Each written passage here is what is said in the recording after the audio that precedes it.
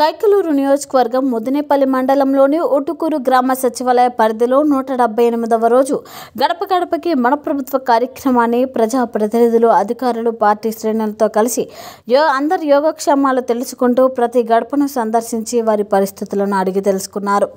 ఎక్కడ సమస్యలు అక్కడే పరిష్కరిస్తూ ప్రభుత్వ సంక్షేమాన్ని అందరికీ తెలియజేస్తూ రాజ్యాంగ నిర్మాత డాక్టర్ బిఆర్ అంబేద్కర్ ఆశించిన సమ సమాజాన్ని నిర్మించడానికి ముందున్నది మన ముఖ్యమంత్రి జగనేనని మానవ సేవయే మాధవ సేవగా మీకు ఎప్పుడు ఏ అవసరం వచ్చినా ముందుండి పరిష్కరిస్తారని అన్నారు. కావున వైసీపీ బలపరిచిన అభ్యర్థిని తమ అమూల్యమైన ఓటు వేసి గెలిపించవలసిందిగా వారు ప్రార్థించారు.